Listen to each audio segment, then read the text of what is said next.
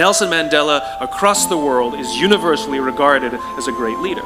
He was actually the son of a tribal chief, and he was asked one day, How did you learn to be a great leader? And he responded that he would go with his father to tribal meetings, and he remembers two things when his father would meet with other elders. One, they would always sit in a circle, and two, his father was always the last to speak. The skill to hold your opinions to yourself until everyone has spoken does two things. One, it gives everybody else the feeling that they have been heard. And two, you get the benefit of hearing what everybody else has to think before you render your opinion.